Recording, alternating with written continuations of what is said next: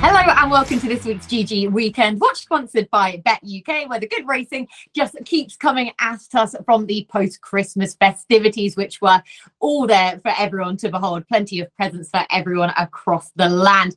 And as I say, it continues then into the new year with top class racing from Cheltenham, Warwick. We're also going to be heading to Newbury as well as Lingfield. And the lads had a very good week last week. Plenty of presents for all of you watchers and listeners out there as well. So just start off with, we did have off to a flyer who placed at 33 to 1 for Andrew Paisley Park, who won at 9 to 2, tipped up by Andrew and Daryl into overdrive tipped up by Daryl and myself as my nap winning at 4 to 1. Constitution Hill one for Daryl. Brave Man's Game one at 11 to 4, tipped up by Andrew and Daryl. Balco Coastal uh, managed to win at 7 to 2, tipped up by Daryl as well as his nap. Good thumbs up there from Andrew because we had the head to head with the naps between the pair of them. So very sporting of you, Andrew. And Theatre Glory placed at 13 to 2, tipped up by Daryl. So Phew, uh, that was a pretty good Christmas then, wasn't it? So hopefully that will continue into the new year. And we begin at Newbury with a 0 to 125 handicap chase for four year olds and over over two miles at 115. 11 runners here, Andrew. So would you like to kick us off, please? Yeah, not a bad start this one. It's been a good race for young horses, generally speaking, um, over the years. Although uh, Gallic Geordie did win it last year as an eight year old. And uh, Gallic Geordie, I don't think he was beat when he took a fall at Lingfield last time, a track where he's got a really good record. And um, he's obviously showing no ill effects from that because that was on the 21st of December and he's out again quickly. Uh, so he's only had the one run at Newbury, winning this by um, four and a quarter lengths from the Russian Doyen, when favourite last year. And he does seem to go well at this time of year. You look at his wins 1st of December, 25th of November, 20th of December, and 29th of December. So although three of those wins came at Lingfield, I, I think it's more of a time of year thing with him. Um, uh, the, the, more rain, the, the better, really. So I thought he'd go well again. Uh, I've seen uh, five to one. Uh, Gamma rays, um, sort of very unexposed. First, um, first run for 327 days. Um, two uh, two wins in a second from three starts. Venetia Williams is six year old. Um, by Coastal Path, the same um, sire as Daryl's nap uh, last week, who seems to be doing well over fences at the moment. Uh, so I'm going to go. I'm going to go with Gallic Geordie. The other one I was quite interested in was not available. Um, who um, bizarrely was run over, uh, was uh, tried over three miles at Newbury last time out. That's uh, Ludlow, sorry, last time out. Pulled up. Um, Matt Sheppard describes him as a slow two miler. And you look at his form, he doesn't do very well on tracks with easy fences where they tend to get away from him. Um, so you look at his record at Worcester, for example, it's fairly useless. But, um, you know, at Ludlow, Newbury, where it does take a bit of jumping, he's run all right over the two mile trip. So I thought at 14 to 1, not available, might run some sort of race here. I think he can ignore that last run, but I'll go Gallic Geordie yeah, Gallic then to win this race for the second year in a row, but not available though. Given a very good shout way back down in trip, then at 14 to one back to a course and distance he's previously won at. Daryl, how do you play it? Yeah, good races. Pretty tricky. I thought um, only money was one of the more obvious ones towards the top of the market. Chased I remember Sky last time here, beating 14 lengths, but uh, uh, he's been knocking on the door recently and, and, probably better races than this, if you like. He was uh, only beating five lengths, third of six, actually the time before behind Gunsight Ridge. That's a good piece of form. Mm-hmm. Uh, he's a nice horse. He's he's surely going to capitalise on this mark sooner or later. But the the one I wanted to play was, um, and I was hoping he'd be a big price actually because he's been beating 30 and 44 lengths the last twice. that's Earth Company for Philip Hobbs. Mm-hmm. Um, this is a nice horse. I I, quite like this run at, uh, over course and distance last time. It, it, probably came in what is one of the hottest small field and uh, limited handicap chase for novices this season. Uh, Fred Arms won it by, by two lengths. Akon Risk went out and uh, chased home Boot Hill next time at uh, at Kempton in a grade two. That's all right. Gino ran today, ran poorly, but he's a two and a half miler and uh, he had some real solid form before that. Straw Fan Jack again had won at Cheltenham before that. Balco Coastal's come out and won since. And Earth Company for me was 33 to 1 and he was he was beating 30 lengths, but he was better than the bare result. He uh he ran well for a, for a long way. He was very, very enthusiastic. Um, that might have just been, I mean, he is a little bit free going anyway, but that might have just been um, heightened by the fact that he's been off the track for so long. Uh, he was just jumping his fences, being reined back uh, at every fence. He was held up at the rear of the field. I think they were just sort of trying to teach him a little bit there. Uh, and the handicap has uh, dropped him a couple of pounds. He's uh, down into a, what is a 0 to 125. Time before that, he ran at Kempton and he was quite well fancied at 4 to 1 over hurdles this was uh, in a hot race won by First Street. He obviously went on to run really well at run really well at the festival, uh, beating narrow second. He's now up into 150s. He was off 132 there, but uh, that sort of track I didn't think was going to suit him. Just the shape of the race was never really going to suit him. He was again, he was too free there, but that was a 0 to 150. Uh, this is down into a 0 to 125. I think he's got scope over his fences. I think his mark's very fair. He's, I like the fact he's already a little sweeter at this track last time out, 36 days ago. And I was hoping it'd be about an each way price, uh, 16 to 1. There's a few in here that could win it, Clay. Um, but I do think he's got each way claims at, at around 16 to 1 yeah, so like I say, representing the value probably then Earth Company 16 to 1 with Philip Hobbs' sources back in better order as well. Like that angle a lot. So yes, lots of ways to play that opening contest. Now we switch across to Warwick now for a 0 to 120 handicap hurdle for three-year-olds and over over three mile two at 135, where again, Daryl, we have a decent sized field. So who wins it for you? Yeah, Qu- a quantity over quality though, and it? it's a pound, pound and we'll put the positive spin on it that we get some runners, but then yeah. The spon- the sponsor is fitting for this, shall we say? um, I, I thought Farmers Gamble would have a little bit of a chance. I won't be getting involved with this. I'll tell you that straight off the bat. Um, but yeah. I thought Farmers Gamble had a little bit of a chance. Um, was dropped in trip on seasonal return at Lingfield. Um, I'll just write that run off. The, the, the way he was shaping last year was he just wanted more of a stamina test, the better. So I don't know why they dropped him back to two miles. There. I thought that was a bit strange. Back up and trip at Ludlow behind Langley 100, but um, was given a good bit to do. Stayed on fairly strongly. Tristan Durrell gets on well with him. Um, this is this is not a real race for me to get involved. In. I thought One Fer Mamma was was interesting as well for Matt Sheppard, but other than that, Kate, I've not really got a strong opinion. But I think Farmers Gamble would be a fair each way bet if you want to have a race. Yeah, exactly. And even then, he's six to one still, so he's kind of an each way shot to nothing in that contest for Daryl. Andrew, any stronger opinions? Not particularly strong. I've come down on the side of One Fer Mamma, who's uh, got a touch of the Oxos um, about him. Um, it tends to be sort of good run followed by bad run, good run, bad run, etc. And um, you know he's bounced back from a defeat to win twice um, you know, in the last year or so. And I thought um, he might do so again, despite finishing 17 and a half lengths behind the winner in third at Haydock last time. The other one that's semi-interesting was Potter's Hedger for Charlie Longsdon. Uh, Yard's in good form. Only the second run since leaving Lucy Wadham. It was quite a strange move to send him over fences for the first time in his career on his stable debut at the age of 10 last time uh, at Huntingdon. He pulled up and so quickly back over hurdles, a course and distance winner. Maybe Potter's Hedger can run a race as well, but I'll go One Fer Mamma. Cool. Yeah. So I mean, Potter's is 16 to 1 though, and One Fer Mamma 12 to 1 back over a course and distance. He's previously won it. So we're all on the Matt Sheppard bandwagon then so far this week. Anyway, uh, now we are back to Newbury next for a handicap hurdle for four year olds and over, over two mile, four and a half furlongs, that 150. And again, lots of runners here, Andrew, which looks a wide open contest. So it's nine to two the field with Pikar heading the market. It's competitive. So where do your dart land? Yeah, funny old one, isn't it? Um, soaring glory um, quickly back over hurdles after um, uh, pulling up on his chase debut at Carlisle. Usually goes well when fresh, and I thought he'd run a run a good race there, and he was very well back, but um, but pulled up. Um, I'm deserting Martello's Sky because it's not a mare's race and it's not a small field. Um, Nina the Terrier, the same reason ruler. I don't want to back her against um, male rivals. The one I was looking at, I'm just scrolling scrolling down to try and find the price. Outsider in the entire field, Tamar Bridge in the first time cheek pieces for Olly Murphy, uh, a son of Jeremy. Um, progeny of Jeremy, five from 20 in first time cheek pieces so far this year. Profit of £27 to a £1 level stake. Pulled up the last three times, but did win twice before that. And you know, maybe with the yard in better form, having won in December of last year, maybe this one can bounce back. Uh, but it's very speculative. But I guess there's compensation in the price as well. Yeah, there definitely is 20 to 1. Then for Tamar Bridge in the first time cheek pieces, Olly Murphy's form back uh, and then some at the minute, aren't they? They're, they're firing in here, there, and everywhere. So, Daryl, who do you like? Uh, I like Pikar, top yeah. of the market. Um, yeah, th- uh, that that Tamar Bridge is quite interesting because it definitely got handicap scope of 127 on the basis of those couple of novice hurdle wins last year as well. Martello Sky was just given mention to just because uh, the third time out reckon we we we pointed that um, the other week uh, bounces back for the third time. forget the run last time behind Miranda. Um, Miranda's proven that to be um, not true running anyway. Um, I like uh, I like Pikar. Yeah, I think uh, I like the win at Chepstow. Uh, he wasn't um, he wasn't flattered by coming from off the pace.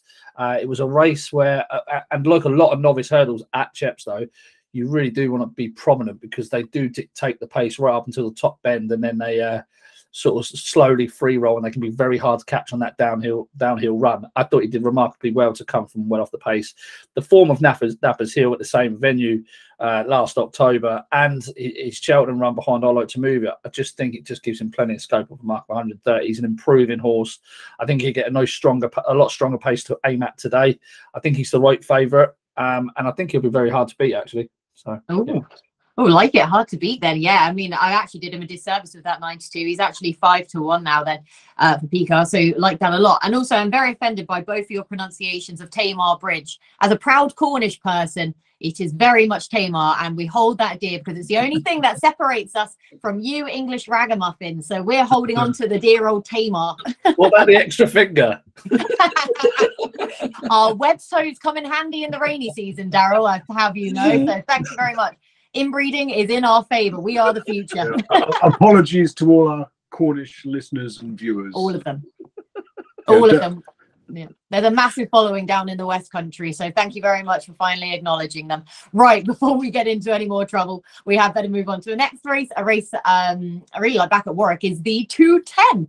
This is a 0 to 120 conditional jockeys, veterans handicap chase for 10 year olds and over over three miles. Young jockeys, old horses here, Daryl. Who wins? Yeah, um, another oil in the Poundland shop, really. um,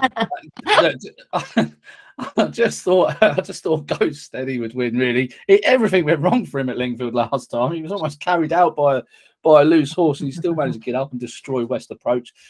At this sort of level in his veterans company, I like the angle that Andrew mentioned a long, long time ago as well as the ten-year-old angle. I know there's loads of them in here, but finding a horse just in good heart is pretty difficult um, at this sort of level down at uh, 0 to 120. So I just think if you can find a horse that's actually enjoying his racing at the moment, um, then then they could go well. He's also won twice at this venue as well, which is another bonus. So right favourite at, at 13 to 8, and uh, I expect him to win, I guess. Yeah, go steady, I guess. With that caveat on to the end, yeah, go steady. Then he is heading the market there as a 13 to 8 favourite. But yeah, definitely no disputing the fact that he is one of the few horses who comes here in good form. Andrew, who do you like? Well, Go Steady's veterans um, win came over two and a half miles. I'm not convinced that he wants three. Um, it's probably going to be a strong pace as well, so it might not. Uh, you know, there might be uh, no hiding place here, stamina-wise. There's three horses in first-time blinkers here. Um, so one of the one of those is quite interesting. Uh, like uh, La Nostra, I should say, for Neil Mulholland. I mean, uh, this one's very lightly raced in recent years. I think it's had seven runs in the last three years won three of them, failed to get round to the others. So this is a sort of uh, all or nothing kind of horse. So, uh, Andrew, so, am I right in saying that uh, this is the first horse this year that Neil Mulholland's put blinkers on? I've no Ooh. idea. I'll check that for you. Um, yeah. Uh, during the, random, but dur- during your next next spiel. Um, but, but, yeah, the, the, the, one I'm going to go for is Stamp Your Feet um, for uh, Richard Mitford Slade. Oh. Now, this one was um, it's a ex Stuart Crawford. Actually, um, attracted market support very early doors um, ahead of that Lingfield stable debut on the 5th of December, and then went incredibly weak behind Go Steady, um, finishing third, beat 11 lengths, went some something like five to one out to 14 to one. And uh, I thought with that run behind them from a yard whose horses generally need a run or even two, maybe stamp your feet and um, you know take a step forward from that. I don't know much about the uh, the jockey Thomasina Easton. Easton. Mm. Don't, don't, know if you can um, uh, enlighten me there, Kate. So, mm, based with based with Neil Mulholland. Yeah, no, she she's a very she's a good rider. She is a very good rider. She rode one back over the summer there, got a winner at Uttoxeter on the seemingly, I think it was the second string of a of a Mulholland horse and some handicap hurdle there, and she looked very very good. So yeah, definitely um worthy and uh, and, and value for a five pound claim there. Oh, thank you. That's uh, good, good knowledge and uh, encouraging anyway. So yeah, I'll go stamp your feet over uh, La Casa Nostra, but uh, again, not a particularly confident selection. No, both of those two, 14 to 1 all the same. And yes, Stampy Gear or Stampy Seat used to be at Tom George's in the JP colours. He's a right character of a horse, this lad. I love him. Absolutely love him to pieces. By Galileo. He's been here, there, and everywhere. And the Bolger, Stuart Crawford's now Richard Mitford Slade. I hope that he goes in. I really do. 14 to 1, though, for La Casa Nostra and dear old Stampy as well. Right, we are back to Newbury for the Mandarin handicap chase, which is a 0 to 135 handicap for four year olds and over, over three mile two at 225. And I'm going to kick us off here, lads. So it buys Andrew some more time to look up those stats as well. Um, because I've been toying with this race for quite a while. And in particular, I was toying between three horses. So I hope that I've come down on the correct horse because I was between Marauder, Laskalin, and Tallow For Coal. But I'm siding with Laskalin as the main play at this stage for Venetia Williams and Charlie Deutsch, as we certainly know that this lad will stay. And everything just clicked for him last time out, winning on his return at Ludlow, where he was racing off of, off of a career low mark, and that was a very good race as well, very competitive, and he still managed to win it by three lengths. So he's been given a five pound rise improvement, seemingly coming from the wind operation. So second start after the wind up should see him to a better effect again then hopefully. So Laskalin to double up for me. Andrew how have you got on with those stats? Are you ready to go for your opinion on this yeah race? well there's a question uh, has Neil Mulholland had a horse in blinkers so far this season Daryl? Yeah. Yeah. Yeah we're going back to the 1st of October. He hasn't had one in blinkers. He's had a few sort of cheek pieces head uh, hood tongue tie. Um, but yeah without headgear um, he doesn't do particularly well. Two from 65 but uh, yeah, his winners tend to have come in sort of cheek pieces or some form of headgear. So that's quite interesting. Yeah. Um, yeah. As, as for the uh, for the Mandarin, um, I won't bang on about how good a race this used to be compared to. we get it every year. Make, make, me sound even older than I am. But the, the one I like is um, Grumpy Charley uh, for Chris Honour. Uh, this one was only a seven to one shot to beat Lamilos at um, Bangor on, on his reappearance. Uh, he won the uh, two mile, six and a half furlong uh, novices limited handicap chase that closes this card uh, on his second start last year, uh, despite having finished last of five, beating 74 lengths on his comeback. And he also ran well at this meeting on his second run in the 2020 2021 season, uh, finishing a close up fifth when I was on each way, and I still can't believe he wasn't in the three. Um, so yeah, I, I, think Grumpy Charley is going to take a big step forward, as quite a few of the Chris Honour horses have done this season for that first run. So I'll side with him. Um, Champagne Court, I thought could go well. Uh, he tends to run well in November, December. I think he's four from seven in November, one from four in December. Soon as the new year comes around, he tends to go off the boil. Uh, I know we're approaching that, but uh, he has one on the 21st of December once, I think. Killer Kane was semi interesting for the Tizods, although he does seem best in sort of February, March time. So I thought maybe he will need one more run and then we should side with him next time. So uh, Grumpy Charley for me, Killer Kane one to uh, note for later in the season. Oh, I like it a lot then. Yeah, Grumpy Charley likes I, I actually didn't have the prices there before. They've just come up for now, but 14 to 1 then about Grumpy Charley. At least he's going the right way around as well then at Newbury for the way that he hangs too. So that's very likable. Shout for Champagne Court. They're at 22 to 1 and keep an eye on Killer Kane for Andrew. Daryl, who do you like? Uh, a, a couple really. I, I like Laskalin um, for sure, but um, like that that Ludlow run last time was a, was a really good time actually. Like it was it was so far improved on what he had achieved previously that it you know it could only really go down to, to the breathing operation uh, just just on the clock side of things. But the one thing that does sort of concern me with it is that he's beaten Tide Times by three lengths. Now Tide Times in that race was given plenty to do.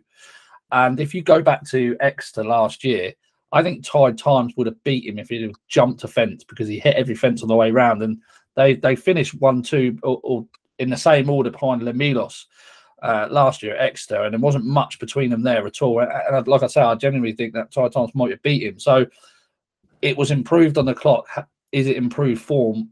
I don't know. At 11 to 2 is fair, though, to be fair. I thought he was going to be a lot shorter than that um, given the RPR he recorded. Was 141, so he's off 133.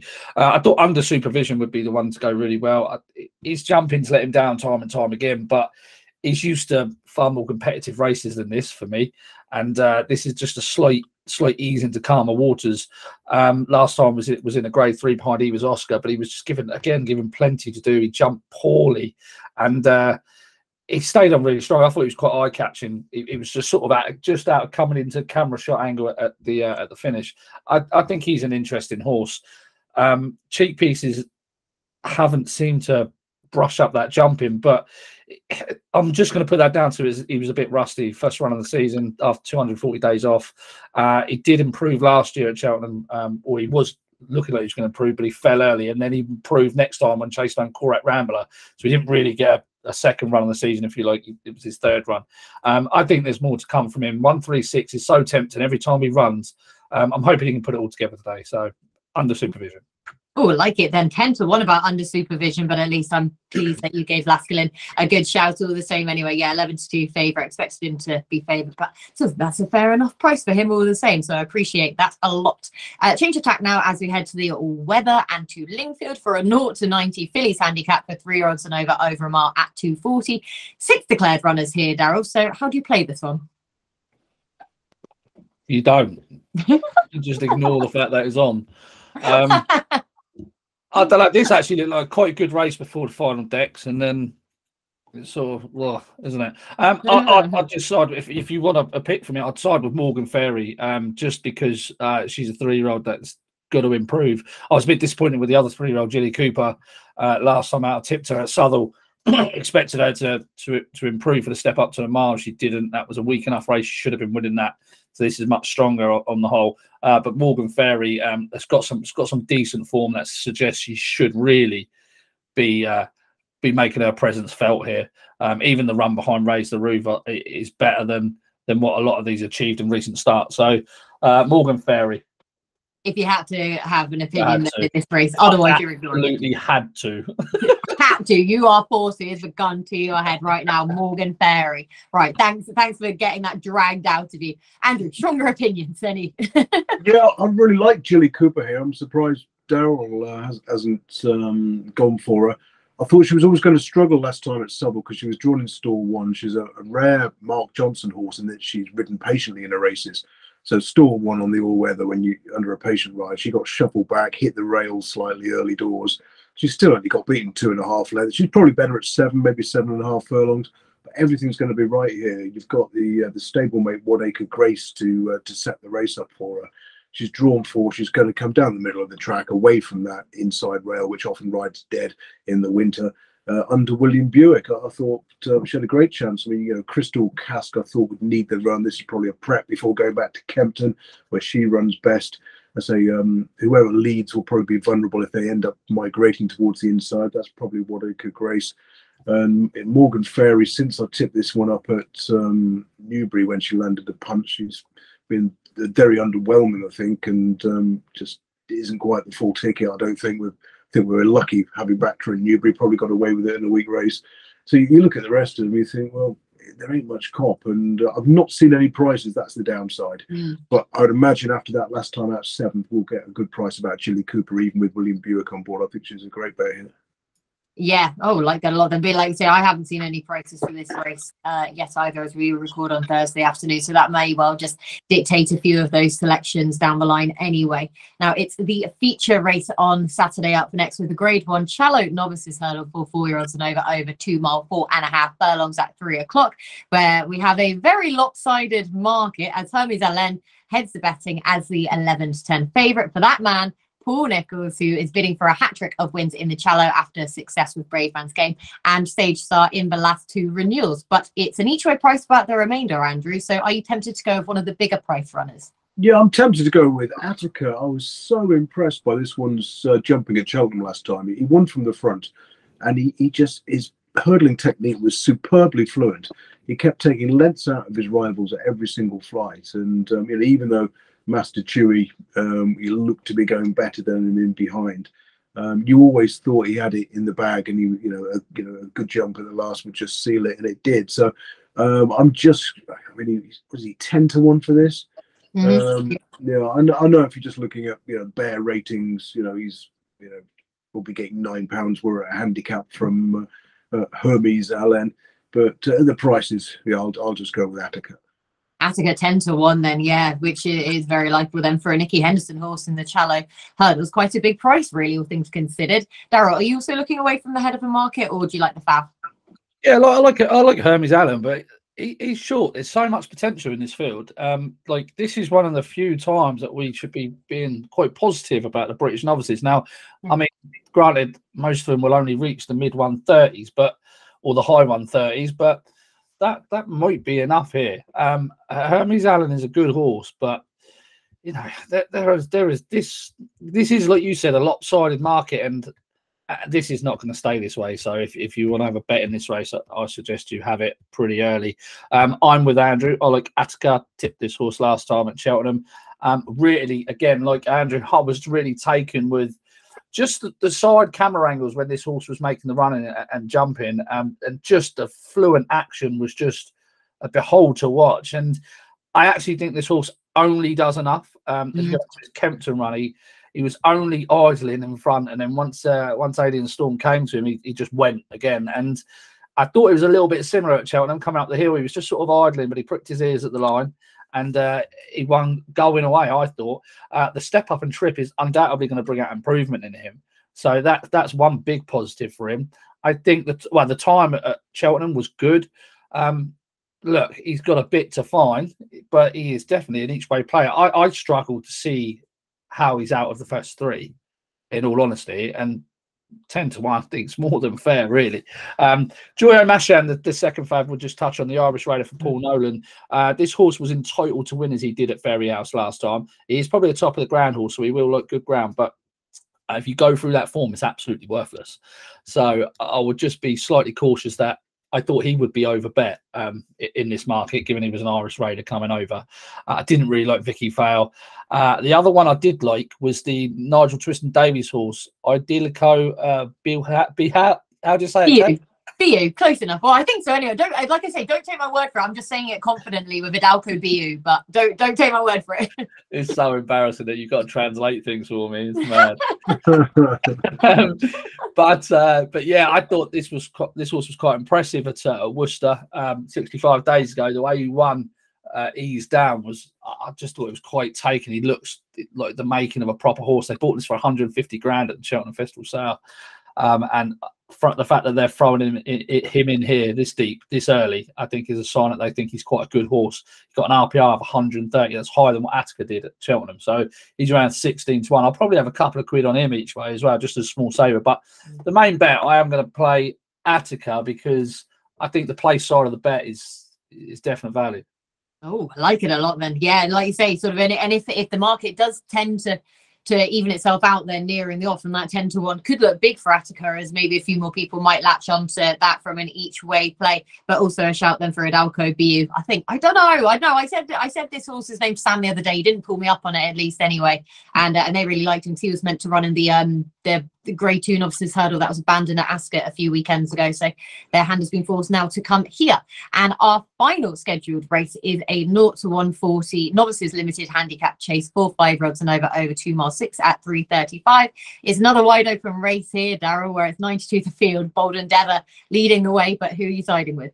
Yeah, I'm not too sure I'm going to side with you. I've, I've, I'll tell you the two I've got it between. The two I want to back or I'm considering backing is unanswered prayers. I thought he would be favourite for this. He's seven to one. Yeah. That's a surprise given how how well he won at Cheltenham on his. You know, it's not it's not easy to make your chasing debut at Cheltenham, and very few win uh, when they do so. So the fact that uh, he he won well enough there in what was a very fair time, I thought was a good performance from him. He's he's he's only up seven pounds in the weights. I think there's more to come from him, that's for sure. He's built for chasing. Step up and trip is going to suit him as well. The way he found when Railway Hurricane came to him up the hill, I thought was quite taking. So I think um, he was also second in the uh, in a cello here last year. So I think he's got plenty in his favour. Um, they're giving him plenty of time to get over that run. Fifty days later, uh, seven to one's more than fair about unanswered prayers. Uh, the other one I just I think there's more to come from is Surrey Quest. Uh, he caught the eye a little bit running on behind Fernhill at uh, Uttoxeter last time. This is a horse that, um, if you write his two runs off prior to that, he really did look progressive. And uh, I, I, think there's a bit of talent in this five year old. He's al- almost certainly going to end up being rated higher than 128, like in due course. Um, so he's got to have a got to have a fair shout in this, I think. So yeah. the, one's 14 to one, one's seven to one. You know, I could probably back them both to be fair play them both exactly. Surrey Quest is the one that's 14 to 1, then unanswered prayers 7 to 1. If you thought he was going to go off as Fav, then that is a very fair price for, for that horse to remain unbeaten over fences. Andrew, who do you like? I really like Bold Endeavour. I'm surprised he's still 9 to 2 and not, you know, 9 to 4. I think he's going to go off a hell of a lot shorter than his current price. I mean, he, he was very useful for Laura Morgan. I mean, he, he won a bumper, won a maiden hurdle, won a novice hurdle, then placed in Grade Two company at Kelso. Was only twelve to one for a Grade One over three miles uh, over hurdles at Aintree. Um, basically, made a mistake at the first, pulled up lane. Um, then this season, again, still with Laura Morgan, he's nine to one shot on his chase debut. He made a, um, a bad blunder uh, and was pulled up. Now, two years ago, he cost 190,000 quid. And um, I think they then tried to sell him last year, um, went unsold for 210 grand. And, and, obviously, you know, a deal's been done. There's no sort of note on the Racing Post website about how much he's changed hands for, but but it's a nice few quid. Now, first time up, you thought, well, it's very rare for Nicky Henderson to take a horse over from another trainer, isn't it? You know, rather than sort of, you know, start from scratch with them or you know from the point to point field. And um, on his debut at Leicester, he, he, seemed to be like a bigger price. I think he was like seven or two, four to one the night before. He, they've smashed him up completely into five to four favoritism. He's won by ten lengths, albeit on very fast ground. Um, you know, I assume that's what he wants, although he has won on soft. Uh, I think this is this is a horse who could be you know way ahead of his mark of 139, and uh, I think he will be the punt of the day on Saturday. And um, you know, I think if you if, if trading's your game, then back him at nine to two now could put you in a good position come 335. Oh, I like it a lot. Then, yeah, 92 at the time of recording. Good case made for Bold Endeavour to have more to offer for Nicky Henderson and to continue to climb the handicapping ranks. Now, of course, we do have Cheltenham on Sunday, but as we record this podcast on Thursday afternoon, we don't have declarations for Sunday. So this is going to be sort of a hypothetical early look then at New Year's Day at Cheltenham, as well as anywhere else where the lads would like to take us to with their best bets across the weekend. So, Andrew, starting with yourself, please. Anything from anywhere else? Uh, start with Daryl, please, because I can have a quick look because I haven't looked yet. Good, great, great. Okay, breaking down the fourth wall there, Andrew. Nicely done. Daryl, have you looked at anything else? Um, Cheltenham on Sunday, just uh, the, the, New Year Paddy Power Day handicap chase, uh, always a good race. I I am desperate to to I think Happy Go Lucky is a well handicapped horse for 152. Um, the form behind Long Press just worked out of into overdrive last year uh, uh, last last year, last week, and uh, I think that, that he just shaped exactly like a horse that was going to come on for the run. I think he is borderline graded material, and uh, I think he'll take a world of beating if he lines up in this. Already a course winner, as we know, second in the Ultima back in 2021. He's obviously been tough to train, but uh, when he's right, he's right, and uh, I think he'll take a world beating if he let, if he goes in this, unless Coconut Splash goes as well. But um, that's definitely a race to keep an eye on. He's around eleven to one chance. Yeah. Happy go lucky, so I think uh, he could take a good bit of whacking in that. Um, other than that, I'd, I need to wait for Dex. Um, I was quite enthusiastic about doing the Cheltenham card today until I actually looked at it. So I do apologise for wasting both of your times. you have not wasted any time. No time talking about racing is wasted time, as we should all know, because 99.9% of our time is taken up talking about racing. So we never waste a minute. Uh, but Coconut Splash, you just gave the mention there too, is also at the minute, obviously, in the in, in at this stage at 14 to 1. But yeah, happy go lucky. 11 to 1 then for the what's it called? The New Year's Day handicap chase. Um, one of those two two and a half mile premier handicap chases that we have at all the Cheltenham meetings. Andrew, have you managed to scan your eye for any winners? Yeah, um, just had to refresh my memory. Warlord is one I've got my eye on to back yeah. second time out. Um, the, the trip was too short in the Haldon Gold Cup, but extra on his comeback. The, um, the ground was too quick, and it might be too quick on Saturday, but at least he's back up on Sunday, I should say. But at least he's back up to two and a half in the 155. And any rain will suit. I must give a, an honourable mention to a sprightly 14 year old who will be 14 on New Year's Day, Kansas City Chief. Oh, uh, a, a, horse we've often backed um, over hurdles at Cheltenham. You know, we've all sort of put up and you know each way at times, I think, and uh, goes well. Um, you know, from the front uh, uh under his sort of his, his owner uh, jockey as well, Victoria. Uh, Malzard. Malzard. That's I almost almost said Mellard, but um, he just finished third at Doncaster as we are recording this pod and he was third at 40 to 1 at Donny's. Must have traded about 5 to 2 or something like that in running, kept pulling out more from the front. So he, he's often gone well after a recent outing. So if, if he comes out again in the, uh, is it 305, I think, at uh, yeah. on Saturday, then maybe Kansas City Chief will give you a run for your money from the front. Oh, lovely. Yeah, we don't have prices for that race uh, currently, but you'd imagine that it'll probably be a pretty big price. He always is for that three mile handicap hurdle at 305 at Cheltenham and Warlord then in the Premier Handicap Chase that we were just talking about previously as well. Looks a nice price at this current stage. So, Daryl, I'll go back to you, please, for your nap. Yeah, um, I'm not too sure what price she's going to be at yet, but it's in the 12.10 uh, Newbury, uh, and that's Grivetana uh, for Paul Nicholls, who chased over First Street over uh, over course and distance last time, and uh, is just a winner and waiting. I think off the off a one pound higher of 122. I don't think there's too much in the race to give her too much trouble. So um, again, I don't know what price she's going to be, but she would be very very interesting. Lovely job. And what time did you say that race was at? That was the 12.10. 12.10, yeah. 12.10 at Newbury. Yeah, don't have prices just yet, but good way to, to well, keep an eye out anyway when prices do come out. Nap for Daryl and Andrew. Uh, I was tempted by Jilly Cooper in the 240 at Lingfield, but as I've not seen any prices, I'll go Grumpy Charley in the Mandarin Chase at uh, Newbury, generally 14 to 1. Bold Endeavour, a close second as well. Oh, okay. Net I'm good.